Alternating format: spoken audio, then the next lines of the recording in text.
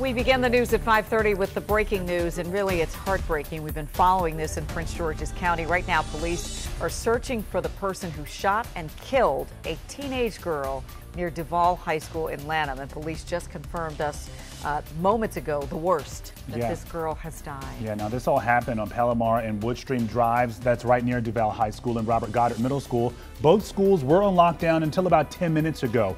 Our Casey Nolan just arrived on scene. And Casey, what more are you learning from police tonight?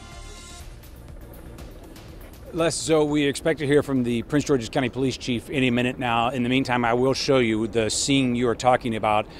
And while we don't know much, as you said, what we do know is not good. Uh, we just confirmed with police that the young woman who was shot and killed here is a student, was a student at the high school just across the street that you may be able to see. We have some footage from Sky 9 that shows the, the proximity here of this police scene where this is all happened according to police and then the high school that you said was one of two that was in lockdown. I can tell you it happened just before four so uh, you know real close to the time that school lets out. There's still a lot of students uh, leaving campus as we arrived here on scene.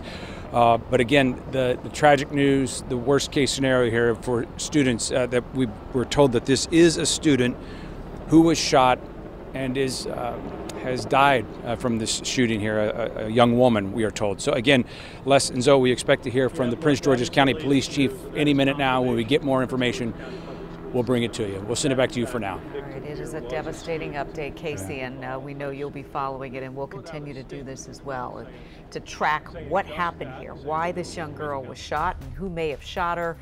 Again, you can stick with us for updates and also download our WUSA 9 app on your phone.